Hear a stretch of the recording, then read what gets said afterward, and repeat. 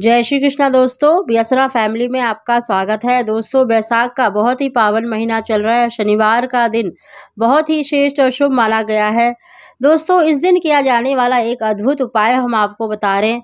दोस्तों, इस उपाय को आप हर शनिवार के दिन कर सकते हैं और इस उपाय को आपको देखिए, सायकाल के समय, यानी प्रदोष काल के समय ही करना है। क्योंकि प्रदोष काल के समय भगवान शंकर का वाद साक्षात शिवलिंग के रूप में माना गया है।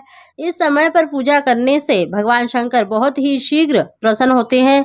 अगर आप प्रदोष काल में यह उपाय नहीं कर पाए तो आप सुबह से शाम तक कभी भी इस उपाय को कर सकते हैं।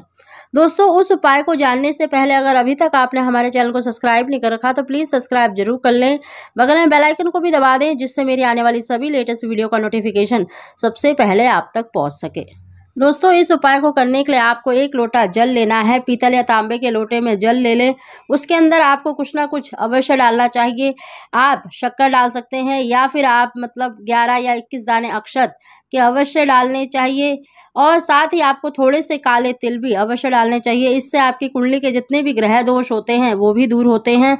दोस्तों, इसके अलावा आपको जो उपाय करना है, आपको देखिए, एक रुपये का सिक्का और दो लोहे की कील, जो लोहे की कीलें होती हैं, छोटी, बड़ी, कैसी भी आपको मिल जाए, वो लेनी है। और एक रुपये का सिक्का और लोहे की कील को आपको पूरे घर में घुमा लेना है। घुमाने के बाद आपको एक दीपक भी तैयार करना है। आपको एक लाल बत्ती का दीपक यानी कलावे से आपको बाती बना लेनी है, उसके अंदर आपको सरसों का तेल डालना है और उसके अंदर भी आप थोड़े से काले तिल अवश्य डालें। साथ ही दोस्तों, आपको एक दीपक और तैयार करना है, वो भी आपको सरसों के तेल का ही दीपक तैयार करना है। आप कोई सी भी बाती ले सकते हैं, गोल, लंबी, कोई सी भी बाती लेकर। इसके अलावा दोस्तों, अगर आपको देखिए, धतूरे का फल या फिर बेल फल अगर मिल जाता है तो आप अवश्य लें। आपकी कोई विशेष मनोकामना है या संतान सुख की प्राप्ति अगर आपको नहीं हो रही है तो आपको धतूरे का फल या बेल फल अवश्य लेना चाहिए। दोनों में से आपको कोई सा भी फल मिल जाए, उस पर आपको देखिए, चंदन लगाकर, सफ़ेद या पीला चंदन लगा लें। और सात बार कलावा लपेटना है अपनी मनोकामना बोलकर।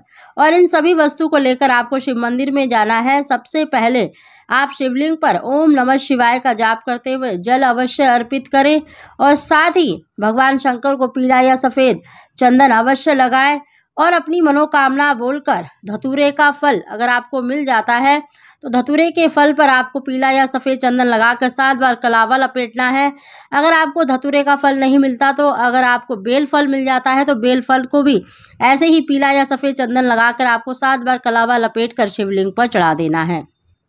आपकी कोई भी विशेष मनोकामना है, संतान की, नौकरी की विवाह की कोई भी मनोकामना है, उसके लिए आप इस उपाय को कर सकते हैं।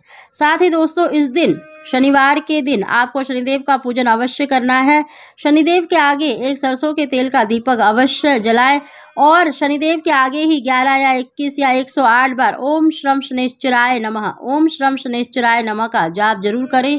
पीपल वृक्ष के नीचे जो आपने लाल बाती का दीपक बनाया है, जिसमें थोड़े से काले तिल डाले थे उस दीपक को आपको वहाँ पर जला देना है।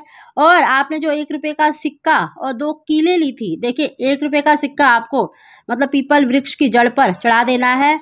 और पीपल, वृक्ष की जो जड़ होती है, उसके आसपास जो मिट्टी होती है, वहाँ पर आपको उन दो कीलों को गाड़ देना है। देखिए, पीपल की जड़ में नहीं गाड़ना है, आपको मिट्टी में गाड़ना है, यानी पीपल की जड़ से जो लगी हुई मिट्टी होती है, वहाँ पर आपको अपनी मनोकामना बोलकर उन दोनों कीलों को गाड़ देना है।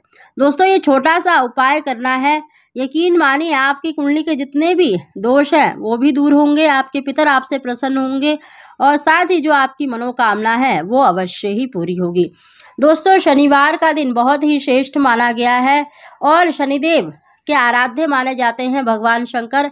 जब हम भगवान शंकर का पूजन करते हैं तो शनिदेव भी प्रसन्न होते हैं और शनि से संबंधित जो भी हमारे ऊपर मतलब दोष चल रहे होते हैं, वो भी शांत होते हैं।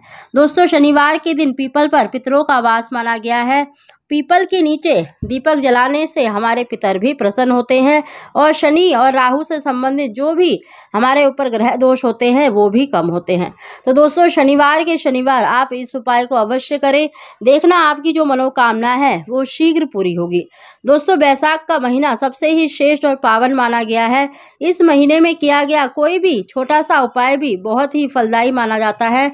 तो आप इस दिन ये उपाय अवश्य करें। दोस्तों, अगर आपको हमारी जानकारी वीडियो पसंद आई हो तो इसको लाइक शेयर ज़रूर करें और कमेंट बॉक्स में हर हर महादेव अवश्य लिखें। आप सभी को जय श्री कृष्णा।